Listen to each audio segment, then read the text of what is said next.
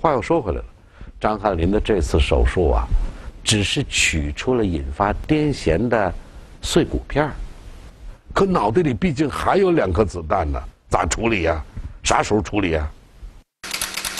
一般说呢，它有些纤维化呀、包裹啊这些了，如果没有比较大的力量拽动它的话，一般不会动的。现在这个这个地方呢，没有引起他这个任何的不不舒服啊，没有引起症状，那么也不会一般来说也不会，他也不会移动了，那不会对他的生命造成很大的一个威胁，所以呢就没有做后边儿。但如果他今后有这个呃要引起新的这些癫痫的话，我们可也可以把它取出来。嗯，医生的意思咱倒是听明白了，导致张翰林发病的直接病因已经排除了。那至于说这两颗子弹嘛，目前看没啥危险，暂时就先不拿出来了。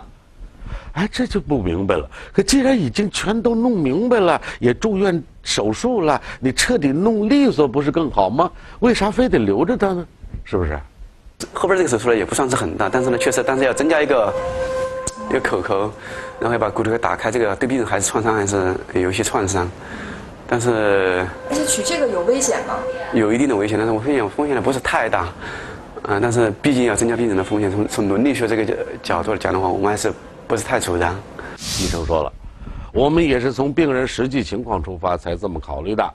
他们也特意嘱咐张翰林以后啊，不能接触高磁场，你比如说，不能做核磁共振，那样的话呢，脑袋里的钢珠啊，就可能在磁场的作用下发生移动。嗯，只要注意到这点，问题就不大啊。来日方长嘛。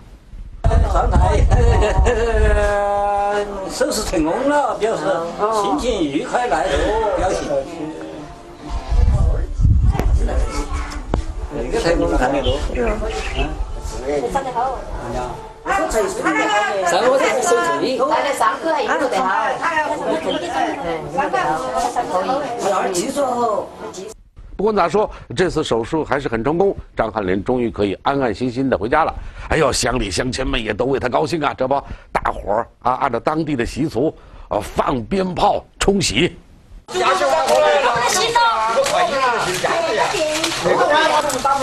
嘛？你点哪个嘛？